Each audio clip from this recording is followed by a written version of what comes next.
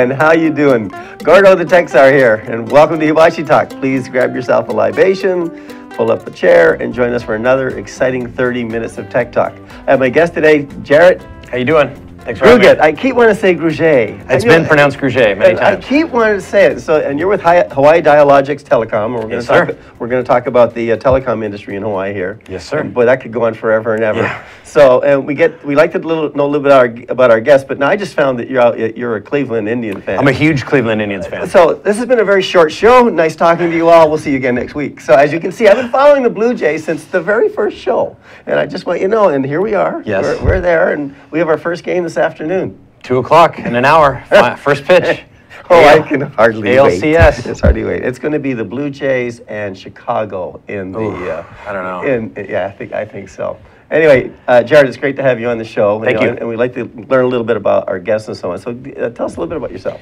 Uh, yeah. Uh, so uh, um, went to HPU. I've been in Hawaii about 20 years. Um, actually, uh, a funny story. Um, I know we've you know met at HPU events and Yep, alumni yep, events and yep. whatnot, but uh, actually uh, came to Hawaii sight unseen, and um, uh, had enough money for my first semester of college.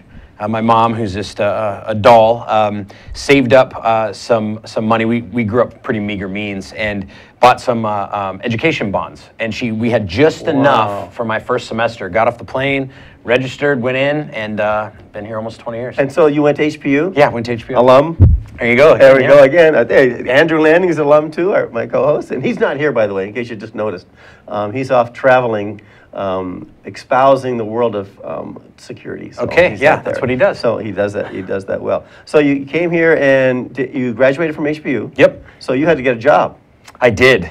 I did. I got a job, and one of my first, just pretty much right out of college, went to work at a company called Summit Communications, which was a which was a dial tone provider. Right. Um, what at that time they called a shared tenant services. Okay.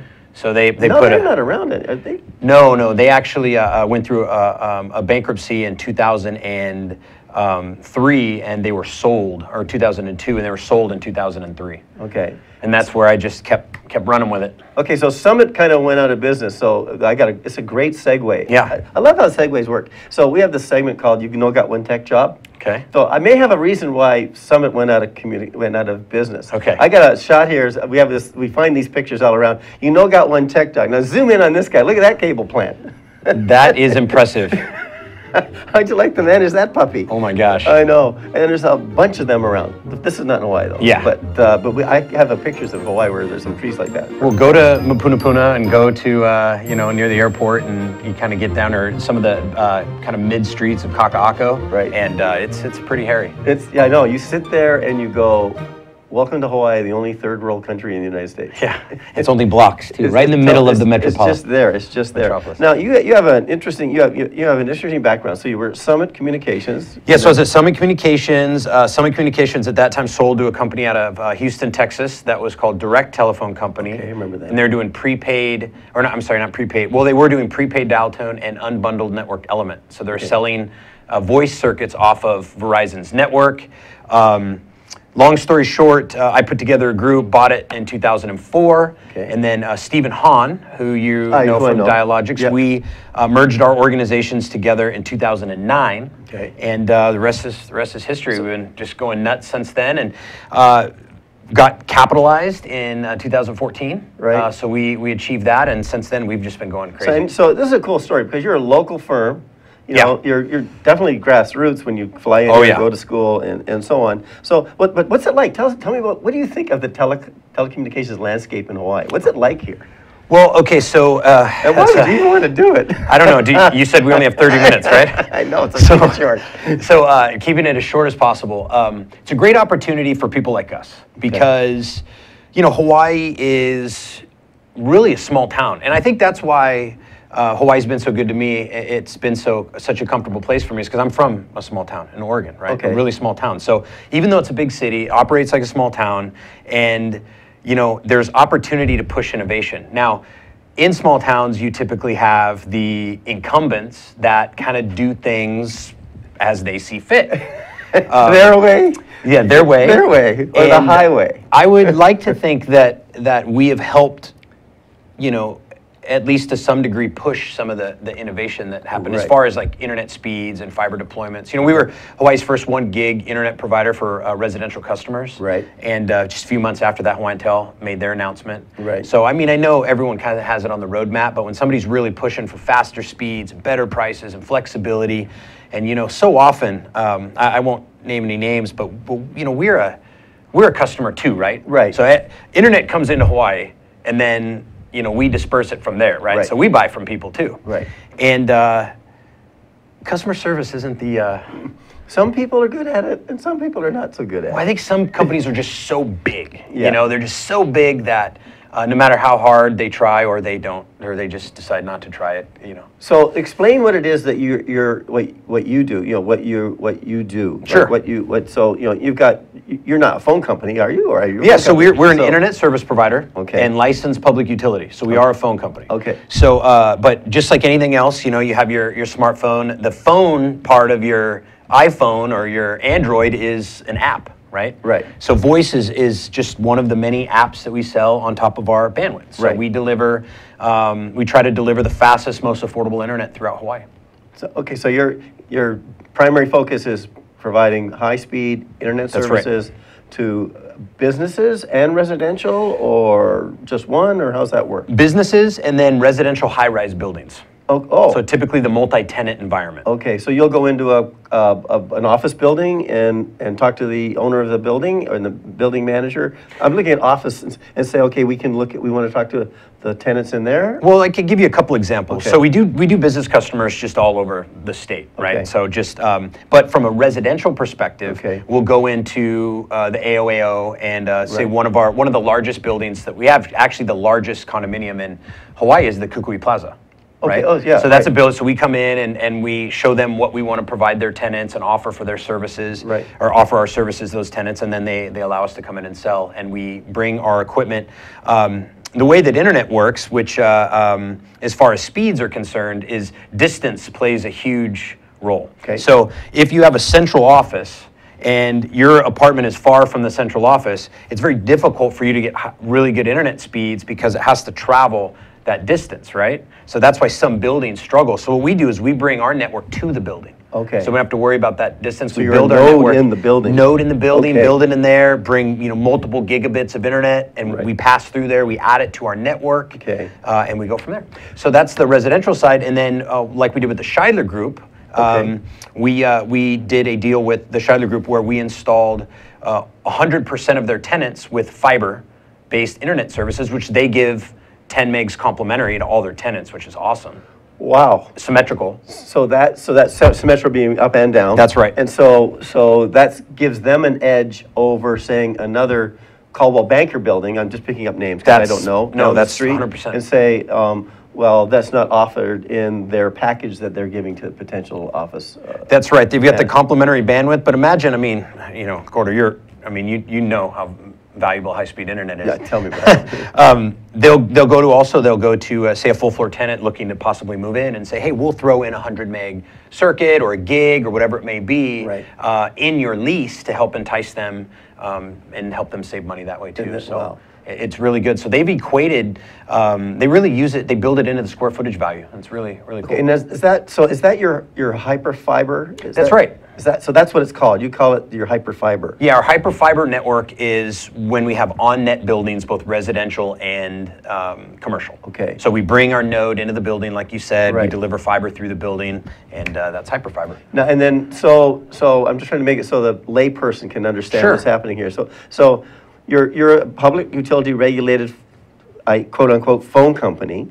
So. Yeah, it's a that- competitive local exchange carrier, So you're a local exchange carrier, so you can compete with the big guys. Yes, sir. And, um, and then you, to get out to everybody around the world, you have to essentially connect somewhere. Yes. And so where's that central kind of piece? We're at happen? DRFortress. Okay, so you're, well, we've had Fred Rodi on the show, so. Yeah, Fred has great. been on the show at DRFortress. So we back, go back to the, I love this stuff, right? How it Yeah. all intertwines. Oh, right? yeah, for The sure. importance of DRFortress and what they provide, because you're not the only guy there. Oh yeah, for Phone sure. carrier, there are other phone carriers there. Yep. That all have to interconnect. Yes. And so that's how, it would happen. Now, my next question would be like, well, how do you, you, you know, you've got to compete in other spaces because they're all bundling stuff now. That's They're right. Bundling, you know, I can get my phone, I can get high-speed internet, and now I can get television. Yes. You know, or, you know, I won't even call it television, whatever the vid, I'll call it video.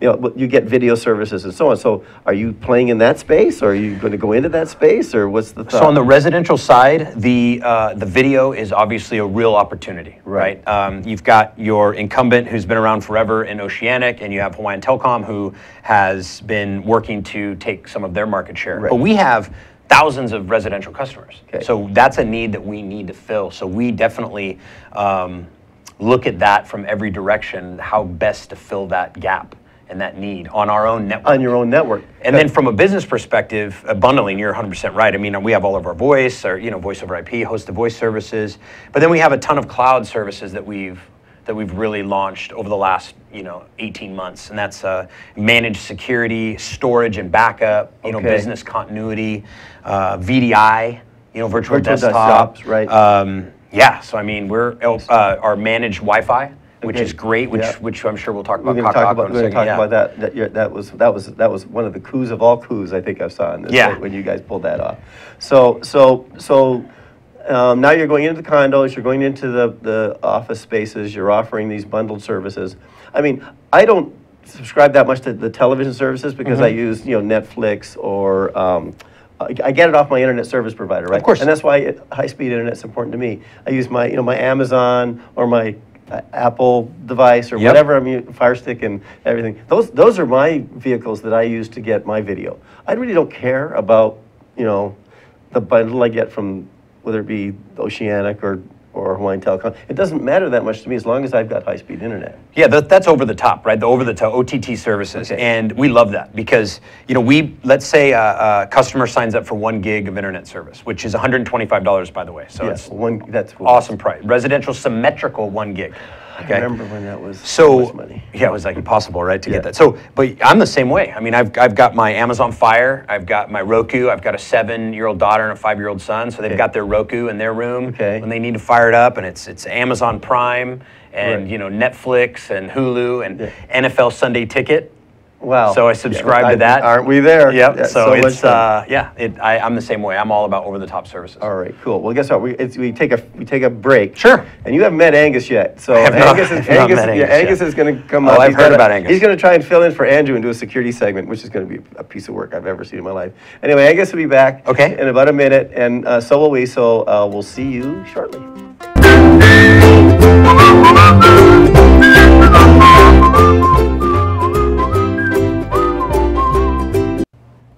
Aloha and welcome to the Savvy Chick Show on Think Tech Hawaii. I'm the weekly host at 11 a.m. Honolulu time. I'm very excited for the next six weeks. We have the Aspire series, which is all about the coolest careers I could find and interviewing and getting insights from these amazing people who want to share it with you and help you live your dreams. Look forward to seeing you on the show. Aloha! Aloha, I'm Richard Emery. I'm the host of Condo Insider. You know, associations are really prominent here in the state of Hawaii, and they have a lot of complex issues with elected boards of directors, repairing and maintaining the building, how to make it quiet enjoyment to live there. So our show tackles the issues of living in an association by bringing in experts on various topics from owners' rights to association living to reserve studies to pipe repair to the new law regarding overtime. You will find it very useful in living in an association as well as if you serve on a board of directors of learning all the risks and rewards of living in an association. We hope you can join us every Thursday at 3 o'clock on Think Tech Hawaii. Thank you. For a very healthy summer, watch Viva Hawaii. We're giving you the best tips and with our best health coach here. So, Viva Health Coach. Viva la comida saludable. Hi, I'm Keli'i Akina, president of the Grassroot Institute. I'd love you to join us every week, Mondays at 2 o'clock p.m. for E Hana Kakou. Let's work together. We report every week on the good things going on in our state, as well as the better things that can go on in the future. We have guests covering everything from the economy, the government, and society. See you Mondays on E Hana Kakou at 2 o'clock p.m. Until then, I'm Keli'i Akina. Aloha.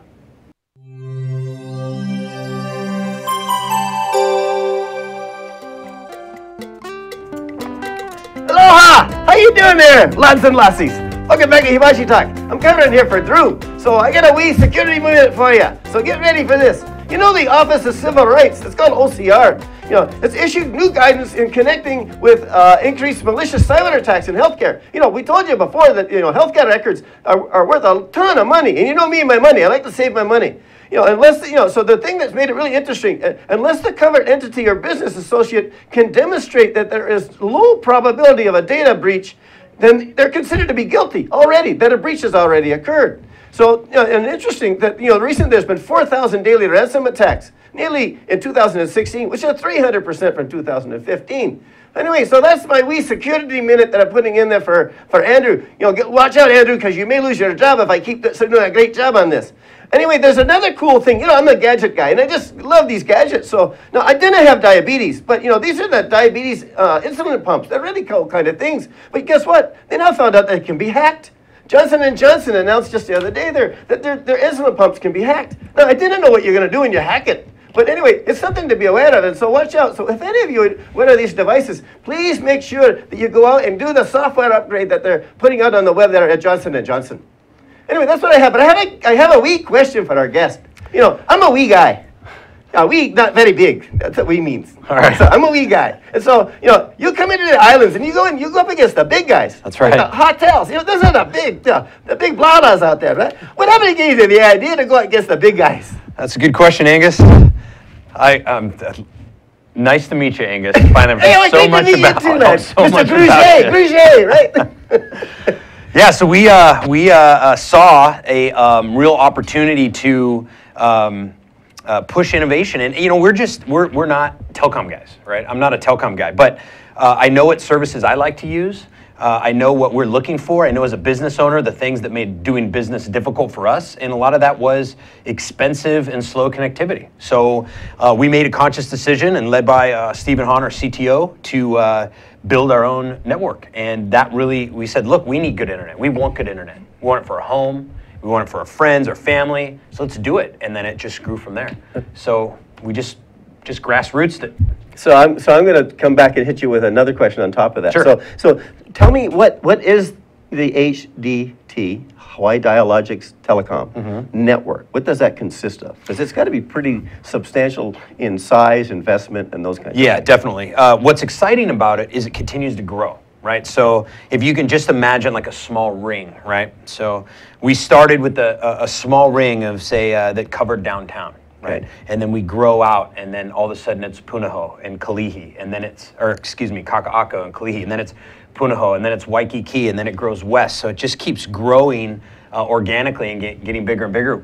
The more customers we add, and the more buildings we add, the more areas we add service to, um, and it's exciting. I mean, we we literally had a, a, a partners call today where we were talking about um, our rapid expansion um, westward, which we have a lot of customers there, but um, Westward, you mean as in Kapolei? yeah, to couple. Okay. So we have Kapolei is on our network, but there's a, a lot, not everything, but a lot in between. That's kind of you know, kind of we you know this part of Waipahu and this part of Pearl City, but then there's a gap. So we're talking about our expansion to cover that whole area. Cover that whole- and it's exciting because it's just going to keep keep going until the island's covered, which is great. So let me give you a piece. This is going to be a business meeting. I'm going to write it off. I'm going to give you a piece of piece of advice Yes, or something please. that you know. So in, in I was involved in the infrastructure design and Yes. development in Kapolei. The uh, Kamokila Boulevard, the main Mm-hmm. drag, and the, some of the main side streets that go into the commercial side. yes. That um, the way that was built and provisioned is it's a non-exclusive right to use. So Hawaiian Telecom does not own that conduit system. They have the non-exclusive right to use that system. So anyone that wants to go into the main thoroughfare mm-hmm. or those side thoroughfares just has to talk to Campbell Estate and cut a deal with them. That's really interesting. So we, we do have our pole attachment and conduit rights with Hawaiian Telecom, but I did not know that um, outside of that, outside of the main drag, that it was with Campbell Yeah. Estates. That's really, really interesting. Yeah, so the James Campbell Company, which is Yeah. what they are now, I can put you in contact with, with their I'm in. person up there, and then so you've got you'll you'll be able to go and not not have to deal with the big guys and say, I want to pull some fiber down these. You know, show us your Yeah. your grid, and I want to pull some fiber down this, and you just negotiate negotiate a deal with them. Yeah, that's great. You're not, you know, and so and they're not out there pounding the pavement selling that stuff. So I'll just go to go to their CEO and say, "Hey, Tim, I got a customer." Yeah. I would love that introduction. Yeah, I mean, if, you know, you look at the the kind of the landscape of internet um, nationwide. You see Google is in the service provider realm, and uh, one of the things that they're having such a hard time with is is building their network because of the pole attachment conduit rights. And even if they get it,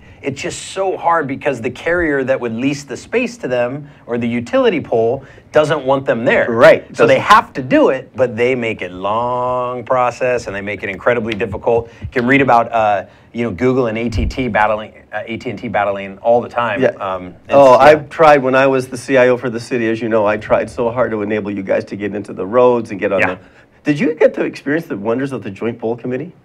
no. Oh well, you so far you have not No, out. the, the joint pole Yeah, committee. committee. Oh, sometimes wow, they never, will get, if you try to get on a pole, sometimes they will get involved. They're an unregulated, non-legislatively approved group of employees that work for the carriers who decide who can and cannot get on the pole and when. Wow. Yeah, and they, I, my standard line, and I was with the city trying to put stuff up for the citizen at no cost. Yeah. I, was, I had people donating it, and the joint pole committee went, "Oh no, it's too heavy. It's going to break the pole. The pole's going to fall down." Yeah. Now, if you want to put in new poles or go underground for the next ten miles, we'll let you do it Yeah. on your dime. Yeah, yeah, and you, you know, you don't make money. You can't. You can't. There's no way those those things pencil out. Nobody said it was easy. Yeah, I know. It's hard. you, you going up against these big guys is pretty. It's pretty incredible. So, but um, you know, time goes so fast. But I want to talk about your Kaka'ako story because that's Yeah. that's a great story. You know how you you went in there and. Did you know there was going to be 6,600 condos built in the Kaka'ako area Well, when you did this? Yeah, well, I mean, what was great about it is, um, so we were actually hired by Kamehameha Schools, Okay. right? So they brought us in. They had Right. their vision for our Kaka'ako, which is really great.